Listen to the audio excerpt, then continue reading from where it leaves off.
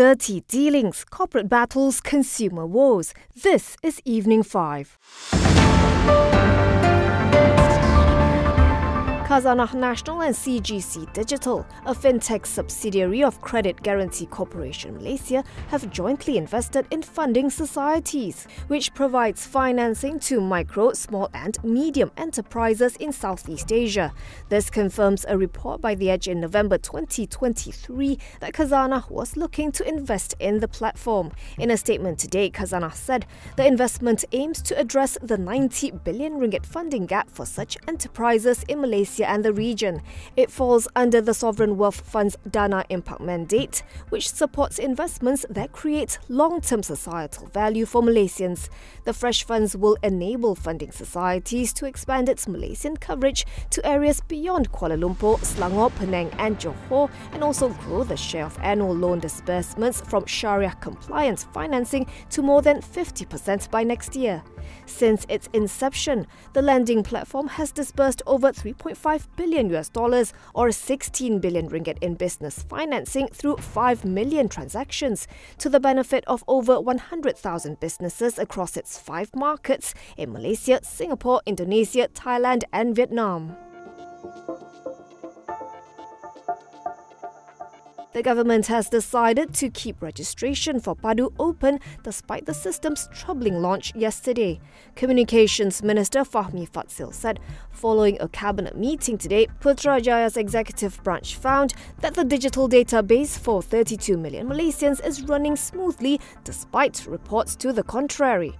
Fahmi told the press that the issues raised have been successfully resolved in a very short period of time, and the monitoring of security aspects continues.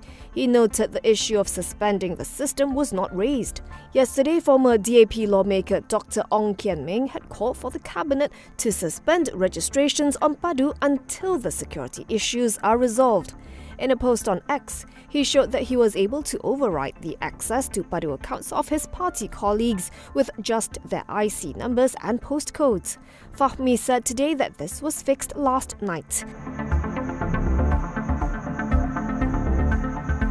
AmInvestment Bank maintained its end 2024 target for the FBM KLCI at 1,545 points, higher than its 2023 close of 1,454.66 points, amid expectations of higher corporate earnings growth, enticing dividend yields, a strong outlook for the Malaysian ringgit, and renewed expectations for infrastructure expansion supported by a firm government mandate. However, the research house noted that the outlook of the local local market will be tempered by the rising probability of a global recession from the aftermath of an extended 500 basis point US interest rate hike cycle, which will drive volatility across all markets. AmInvestments projected the FBM KLCI's corporate earnings in 2024 to grow by 14.4%, driven largely by oil and gas, plantation, power, and financial services, comparable to Bloomberg consensus earnings growth of 13.6%.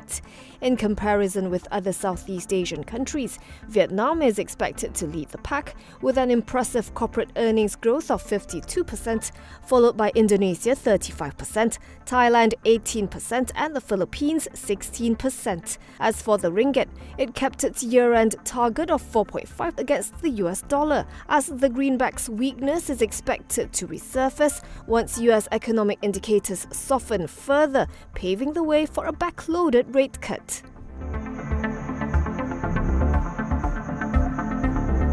National car maker Proton achieved its fifth straight year of sales growth in 2023, with total sales, both domestic and export, amounting to 154,611 vehicles, a 9.3% increase over the 141,432 units sold in 2022. This is its strongest sales performance since 2012. Based on the projected total industry volume of 794,948 units for 2023, Proton estimated its market share to be 19.4%. with December sales reaching 12,711 units. The company said it also finished the year ranked second in overall sales, which was the fifth year in a row it maintained that position. Its CEO Dr. Li Chunrong said the automotive industry set another record in 2023 when overall sales rose by 10.3% above the previous volume high reached just a year before for Proton. While demand remains strong for its X series SUVs, it was the rebound in demand for the Persona, Iriz, Exora, and Saga models that powered sales growth. Volume growth was a remarkable 25.6% for the year, consisting mainly of first time car buyers.